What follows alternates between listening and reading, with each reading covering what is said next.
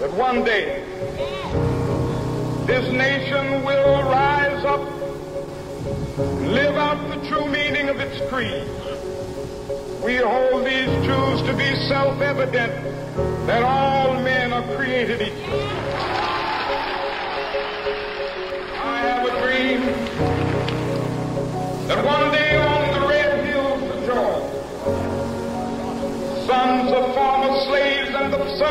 former slave owners will they be able to sit down together at the table of brotherhood. I have a dream that one day my four little children will one day live in a nation where they will not be judged by the color of their skin, but by the content of their character. I have a dream. I have a dream that one day every valley shall be exalted. Every hill and mountain shall be made low. The rough places will be made plain, and the crooked places will be made straight. And the glory of the Lord shall be revealed, and all flesh shall see it together. This is our hope. This is the faith that I go back to the South with. With this faith, we will be able to hew out of the mountain of despair a stone of hope. With this faith, we will be able transform the jangling discords of our nation into a beautiful symphony of brotherhood. With this faith, we will be able to work together, to pray together, to struggle together, to go to jail together, to stand up for freedom together, knowing that we will be free one day.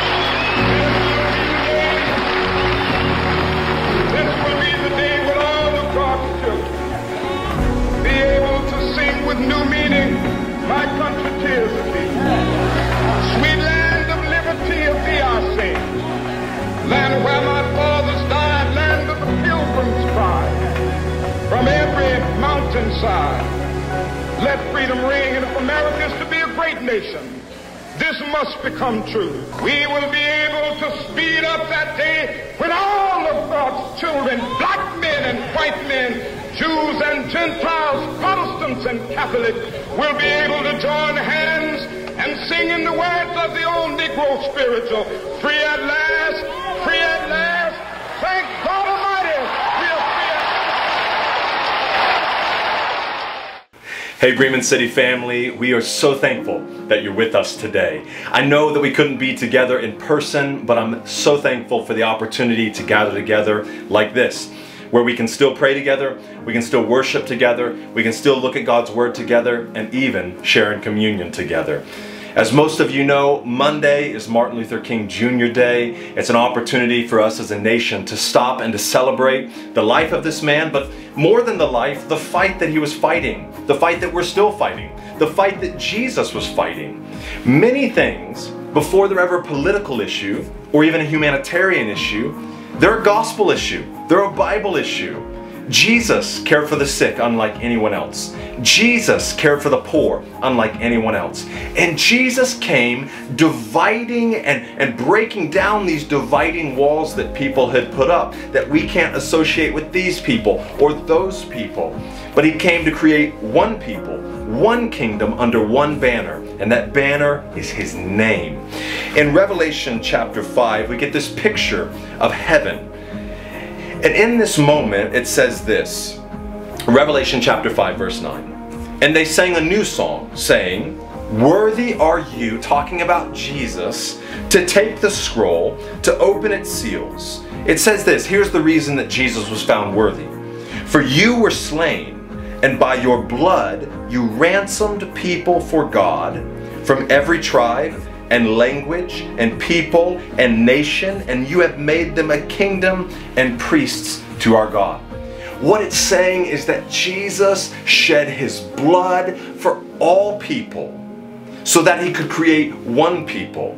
And he has called us here on earth to model what we will be in heaven. People from all kinds of nations, people of all colors, people of all uh, languages, people from all different backgrounds so that we could be one people sharing in something common. And that's that we were lost and He found us, that we were blind and now that we can see. And Jesus has called us to continue that fight, showing love to all people.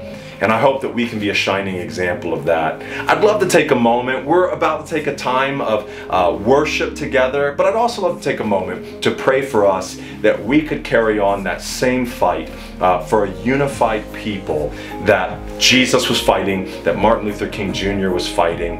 And uh, would you pray with me? Well, Jesus, we thank you for the words of Scripture that you were slain you were killed. You were put on a cross. You shed your blood not for one specific group of people, but for all people because you have made all people and all people are made in your image. And Lord, I pray that you would help us at Bremen City Church to be a shining example of that to the world.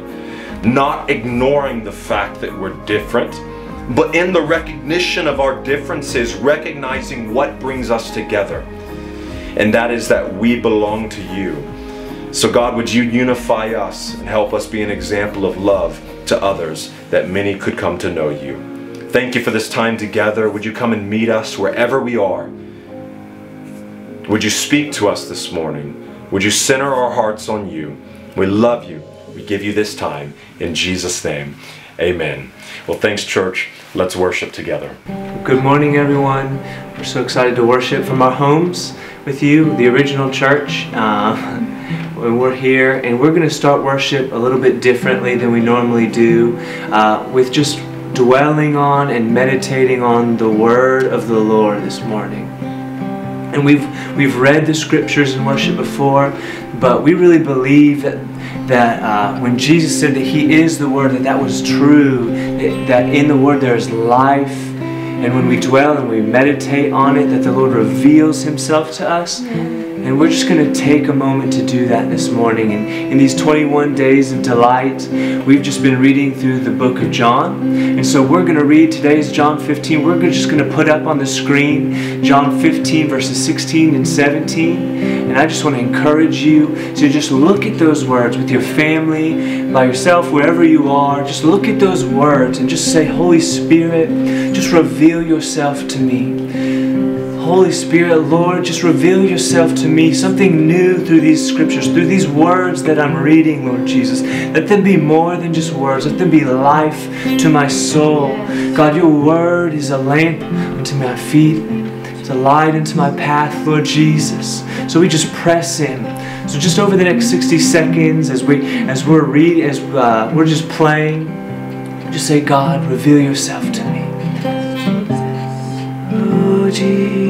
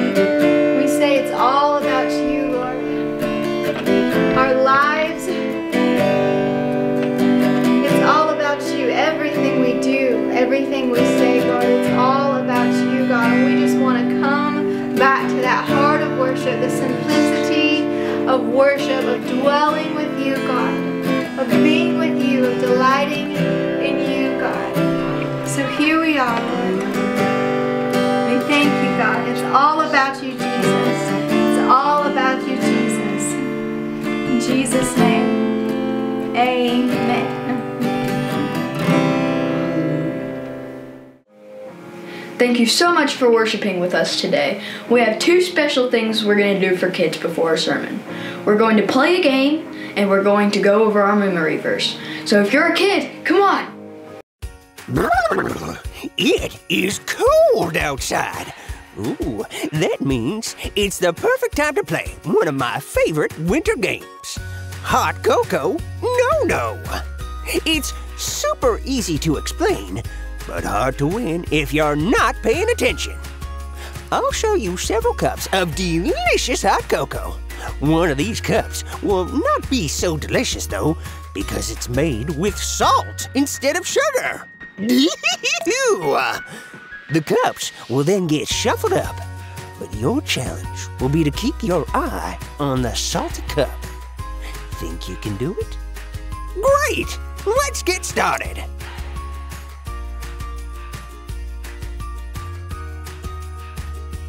Okay, shout out one, two, or three if you think you know which cup is definitely a no no. Great job, everyone! Let's try another one. This one will be a little faster.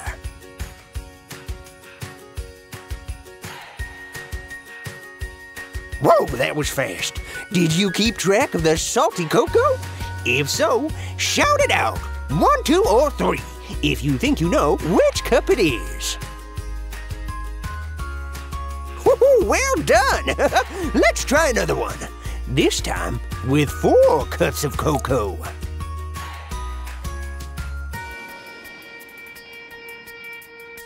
That was definitely a little more challenging. Shout out the number if you think you know which cup it is. Job! Now, let's try it again, but this time, the cups are gonna move a little faster.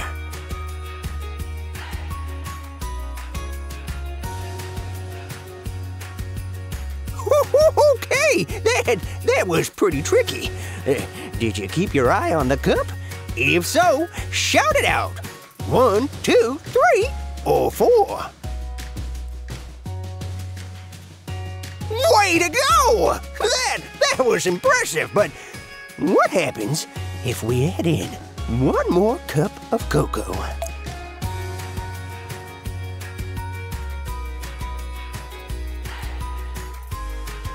Wowzers! Does anybody know which cup has the salt in it? Shout it out if you know it. Nice job. Uh, can you keep your eye on the cup if they're going crazy fast?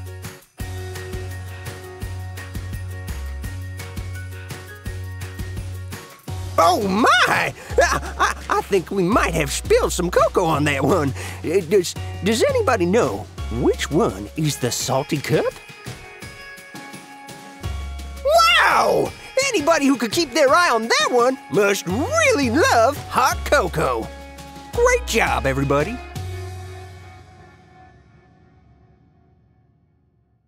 I hope you did good. Now let's go over our memory verse. 2 Peter chapter 1 verse 3. God's power has given us everything we need to lead a godly life. 2 Peter chapter 1 verse 3. God's power has given us everything we need to lead a godly life. 2 Peter chapter 1 verse 3. God's power has given us everything we need to, to lead a godly life. Great job everyone. It's time for the sermon. So get your Bibles and let's go. All right, Bremen City family, we're going to share in God's Word for a few minutes together before taking communion as kind of the final thing that we do together. If you want to grab your Bible or turn to uh, where we're going to be reading from or pull it up on your phone, we're going to be in John chapter 11, reading about the story of Lazarus. And then I have five quick uh, points from the story of Lazarus I want to share with you. It's interesting because as we've been doing 21 Days of Delight, I've taken a few of those opportunities to read through whatever chapter in John that we're in with my boys. Because uh, a lot of times, if we don't have sports going late at night or things like that, we love to read together and usually do a devotional and then uh, read something else. And so, as I've been reading through those full chapters, it's not often that I read through full chapters with my children. Uh, and I understand that it's hard sometimes for them to comprehend because the Bible is so rich, so full, but I found a lot of value in it as well. And so I, I want to encourage you, we're going to read John chapter 11 and then a little bit of John chapter 12 to get Lazarus's full story. And uh, this is a great one to follow along with. And it's interesting too because in the Old Testament, when Israel used to gather together, there were times that they would read through the law the book of Moses uh, together as an assembly. And I used to think like, man, how long were they there standing out, you know? So thankfully, you're in your living room, in your bedroom, something like that. You got a comfortable place. John chapter 11 is where we're going to read, and I'd encourage you to follow along with me. I'm reading out of the ESV, the English Standard Version. Uh, but whatever you're reading out of, you should be able to follow along just fine. All right, let's read together. In John chapter 11, starting in verse 1, it says, Now a certain man was ill, Lazarus of Bethany, the village of Mary and her sister Martha. It was Mary who anointed the Lord with ointment and wiped his feet with her hair, whose brother Lazarus was ill. So the sisters sent to him, saying, Lord, he whom you love is ill. But when Jesus heard it, he said, This illness does not lead to death it is for the glory of God, so that the Son of God may be glorified through it. Now Jesus loved Martha and her sister and Lazarus. So when he heard that Lazarus was ill, he stayed two days longer in the place where he was. Then, after this, he said to the disciples, Let us go to Judea again. The disciples said to him, Rabbi, or teacher, the Jews were just now seeking to stone you and are you going there again? Jesus answered, Are there not twelve hours in the day? If anyone walks in the day, he does not stumble, because he sees the light of this world. But if anyone walks in the night, he stumbles, because the light is not in him. After saying these things, he said to them, Our friend Lazarus has fallen asleep, but I go to awaken him. The disciples said to him, Lord, if he's fallen asleep, he's going to get better. He'll recover. Jesus had spoken of his death, but they thought that he meant taking rest in sleep. Then Jesus told them plainly, Lazarus has died, and for your sake I am glad that I was not there, so that you may believe. But let us go to him. So Thomas called the twin, said to his fellow disciples, Let us also go, that we may die with him. Now when Jesus came, he found that Lazarus had already been in the tomb four days. Bethany was near Jerusalem, about two miles off, and many of the Jews had come to Martha and Mary to console them concerning their brother. So when Martha heard that Jesus was coming, she went and met him, but Mary remained seated in the house. Martha said to Jesus, Lord, if you had been here, my brother would not have died. But even now, I know that whatever you ask from God, God will give you. Jesus said to her, Your brother will rise again. And Martha said to him, I know that he will rise again in the resurrection on the last day. And Jesus said to her, I am the resurrection and the life. Whoever believes in me, though he dies, yet shall he live. And everyone who lives and believes in me shall never die. Do you believe this? She said to him, Yes, Lord, I believe you are the Christ, the Son of God, who is coming into the world.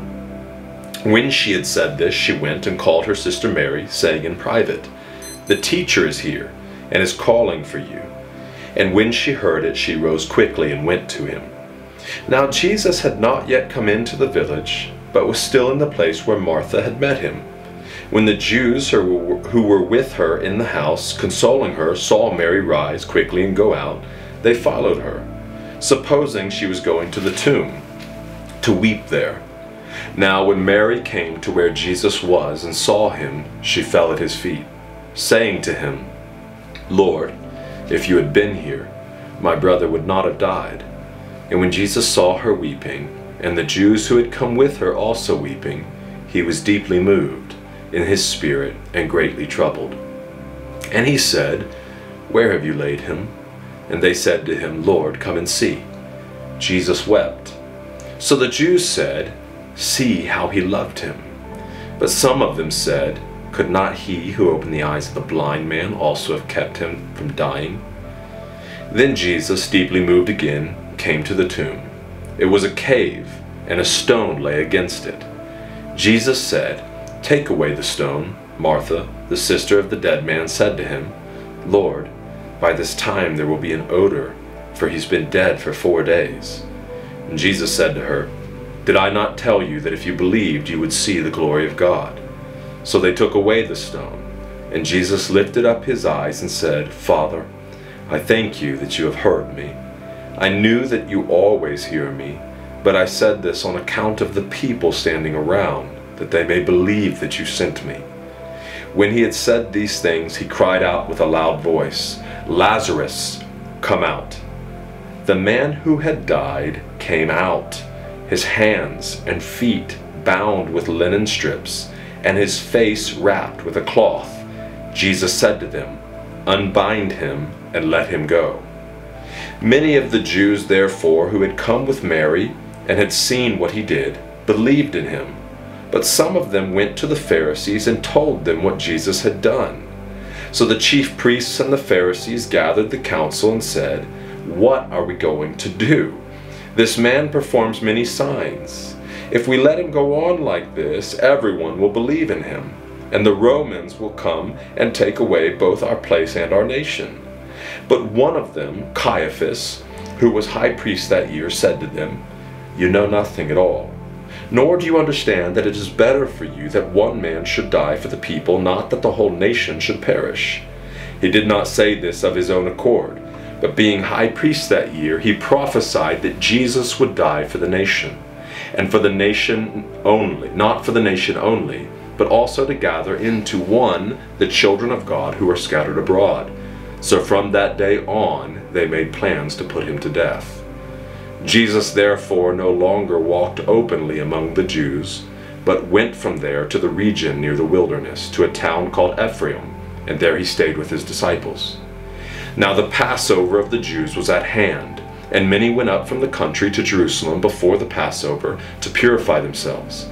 They were looking for Jesus and saying to one another as they stood in the temple, What do you think? That he will not come to the feast at all?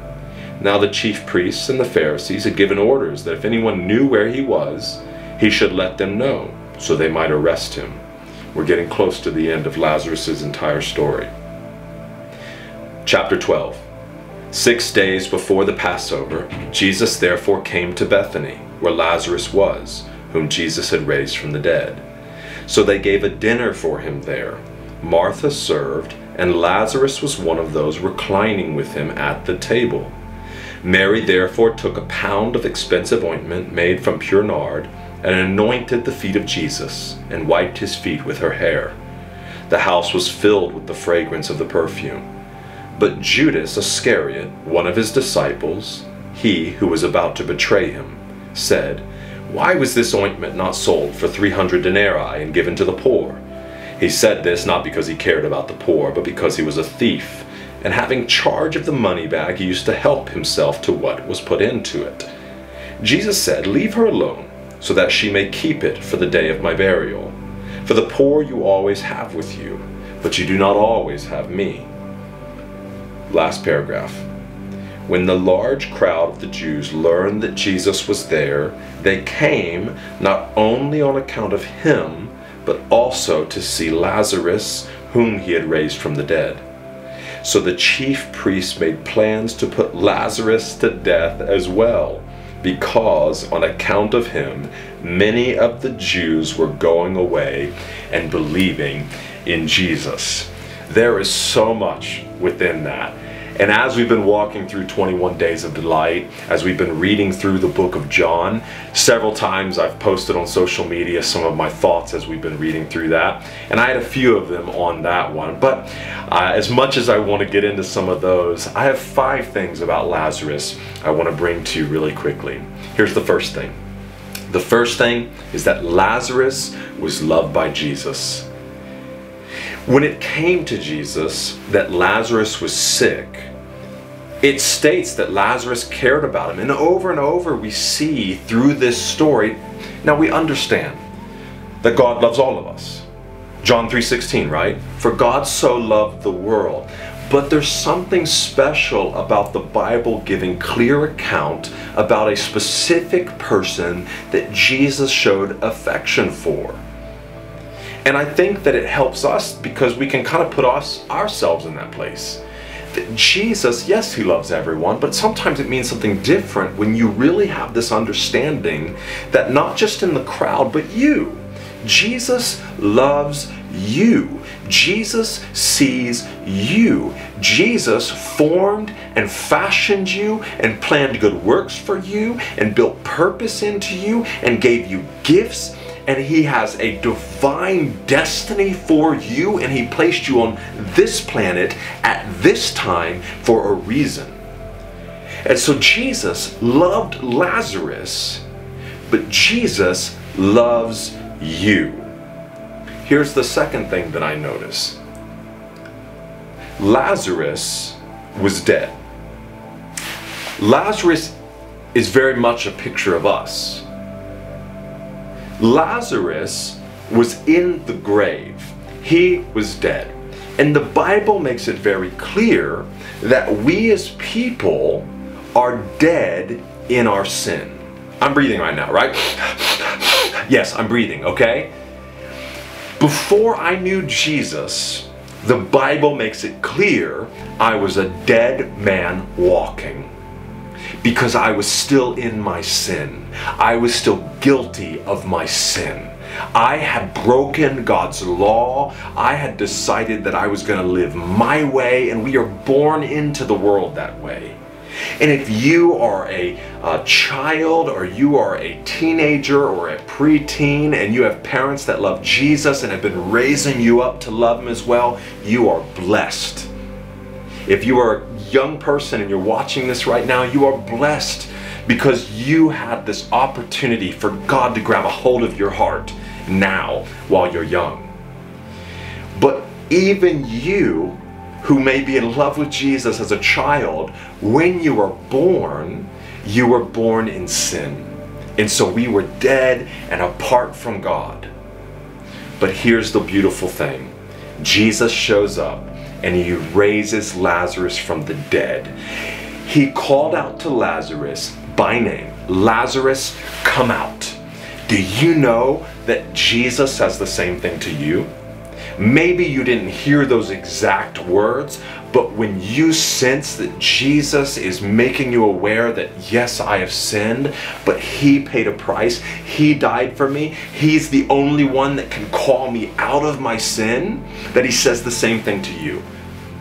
Insert your name, come out. Come out from the world. Come out from your sin. Come be a part of me. Did you know that's actually what the church is? The church, based on the biblical term ecclesia, is people called out. That God sees people in their sin, but calls them out to follow Him, and we step out and belong to Him now.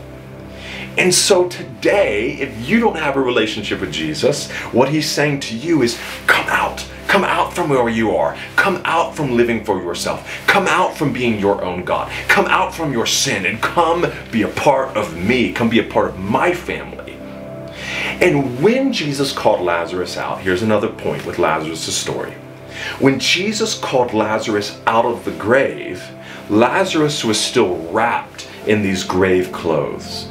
And I remember, I vividly remember the first time I heard a pastor teach on this. uh, somebody who's been a very dear friend, very, very dear encouragement to my life. He was actually the uh, lead pastor of the first church that Charity and I served at when we got married in Savannah, Georgia. Uh, pastor Jack Moon of Southside Assembly of God. Uh, just a wonderful man of God. But I remember him preaching on this story. And he was the first one to bring to my attention that Lazarus was called out of the tomb, but still wrapped in these grave clothes.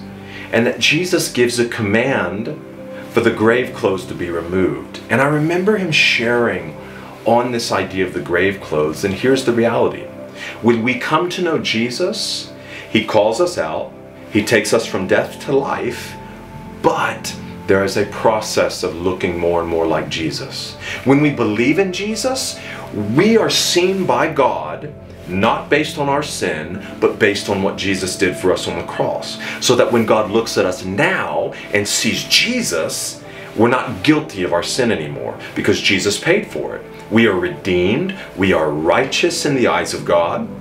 The Bible calls us holy and dearly loved. It calls us saints. It calls us ministers to God. But as you know, as well as I know, there is still stuff in my heart that God has to deal with. And as we continue walking in our relationship with Jesus, as we continue walking through God's Word, we become more and more like Jesus. And so, the same way that Lazarus came out of the grave alive, called out by Jesus, he still had grave clothes. And what I love too in this story is that Jesus commands others to take the grave clothes off, off of him. The reality is that we need one another. We are called to love and serve one another through the good and the bad. And we need one another to help take each other's grave clothes off. It is in living in biblical community, even when we butt heads sometimes. Because what the enemy wants is us to butt heads and part ways. Don't talk to each other anymore, just go to separate churches. And whatever your story may be, I'm just saying that there is so often God calls us to work through conflict together because as we do that, we see parts of ourselves that maybe we would never seen before. And if we can keep working through those things together, forgiving one another, bearing with one another, loving one another, serving one another, encouraging one another, that we become more like Christ. And these grave clothes we live in, these grave clothes sometimes of selfishness, sometimes of pride, sometimes of greed, whatever they may be, anger, these grave clothes that we find ourselves wearing, sometimes still wrapped up in, that we need one another to help remove some of those grave clothes as we walk in community and follow Jesus together. What I love is after Lazarus was raised from the dead, I have two more things for you. That after Lazarus was raised from the dead, we find him several days later sitting with Jesus, being with Jesus. I can only imagine it had to have been a profound experience in his life for what, what happened and what he got to experience with the Lord. And God has so many experiences for you. But I love that he sat with Jesus and God has called us, and that's one of the things we've been trying to encourage through 21 Days of Delight, is walking with Jesus, sitting with Jesus, delighting in worship, delighting in prayer, delighting in the scriptures. Because there's something transformational, something soul filling, soul fulfilling about sitting with Jesus. And I'm telling you, if we can't learn to sit with Jesus, we will not be able to walk with Jesus. And that's really the last place we see Lazarus. Lazarus was walking with Jesus. And it's interesting because not only did they seek to kill Jesus, because he was disrupting a lot of their systems, making a lot of things uncomfortable for the religious leaders, but they wanted to kill Lazarus too because of his testimony, because there were people coming to Jesus because of Lazarus. And I want to tell you, it is a blessing. You have a target on you from an enemy because you belong to Jesus, and through your life, God wants your children and your friends and your coworkers and the people that you encounter to be drawn to Jesus and he hates it. And so he wants to do everything he can to take you out. But I want to encourage you today that God, the same way that we have learned with our kids' memory verse, that God has given us everything that we need. He's given us power to lead a godly life. And so today, tomorrow, as you lead that godly life, and as you have an enemy who doesn't want you to lead that life, just know there is more power in you through Christ than is against you through the enemy. And walk with him and lead other people to him. I love the story of Lazarus. And I want to encourage you today if you haven't put your faith in Jesus, if you haven't been called out of that grave, if you haven't taken the steps to start unwrapping those grave clothes, if you're not walking with Jesus, sitting with Jesus, I want to encourage you to make that decision today. Can we pray together? Jesus, thank you for the story of Lazarus. Lazarus, whom you loved, and you love us. If anybody needs to hear that today, Jesus, I pray they hear loud and clear, you love them. Father, I pray today for anyone who may be still stuck in their sin, that they would hear your voice the same way you called out to Lazarus. Come out. Come out and be a part of me. Come out from the world. Come out from the world's ways. Come out from being your own God and follow me. God, I pray that you would help us live with one another in community, love one another and lead one another and strengthen one another, encourage one another. God, bring the right people around in our lives to help us remove these grave clothes. Father, I pray you'd help us learn to sit with you, to recline at the table with you, to delight in your word, delight in prayer, delight in worship, because in that we can walk with you. And Lord, as we walk and fulfill everything you've called us to do, give us strength, give us power to lead a godly life, that the same way people came to know you through Lazarus, they'd come to know you through us. In Jesus' name, amen. Well, listen, we're going to close together as we often do uh, in communion, sharing in the Lord's Supper. So I want to give you a chance as a family, uh, if you want to grab some juice and some bread, some milk and some cookies. Uh, maybe you picked up these communion packets from the church yesterday that we made available. If you want to just take a moment and find something, we're going to give you about 60 seconds or so uh, to find some elements so we can share in communion together and we'll come back and uh, taking communion together and then we'll be done.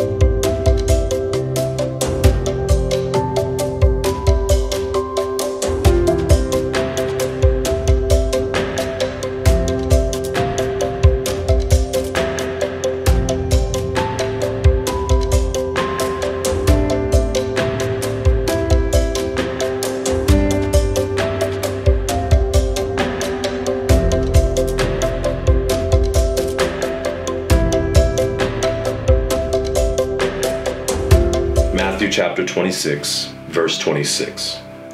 Now, as they were eating, Jesus took bread, and after blessing it, broke it, and gave it to the disciples, and said, Take, eat, this is my body. And he took a cup, and when he had given thanks, he gave it to them, saying, Drink of it, all of you, for this is my blood of the covenant or of the promise which is poured out for many for the forgiveness of sins. Jesus takes this opportunity to let the disciples know that Passover was going to mean something different, that he was going to be the sacrifice for sins. And so we celebrate this as we're instructed in the New Testament to continually remember what Jesus had done for us. And so I encourage you with your bread, with your cup, uh, let's take a moment to pray, reflect, and celebrate what the Lord has done for us uh, through the Lord's Supper, through communion. With Jesus, we don't take this lightly. It's not just a ritual to us, it's a remembrance. We remember that on an evening you sat with your disciples and you told them, I'm about to give my life for you. My body, my blood will be broken and spilled for you. And so, God, the same way that you took of the bread and you broke it, and you took of the cup and you drank it, as did your disciples, we do the same until one day you will return for us. We love you. Thank you for the life you've given us. In Jesus' name, amen. You can take of your elements.